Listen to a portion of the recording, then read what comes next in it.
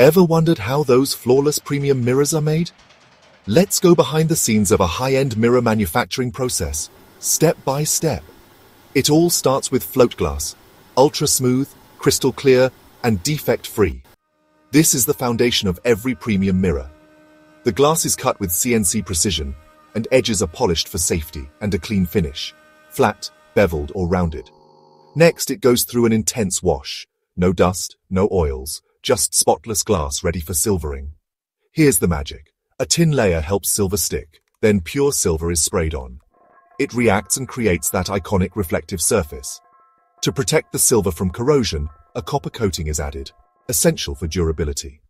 Then two layers of paint seal it all in, cured in a heated chamber to create a long-lasting, corrosion-resistant mirror. Each mirror undergoes a strict quality check, flawless reflection, perfect adhesion, zero defects. Premium mirrors often get extras.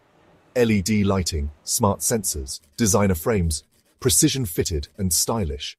Finally, mirrors are sealed with protective film, foam packed and boxed for safe global delivery. So next time you look into a mirror, remember the craftsmanship behind the reflection.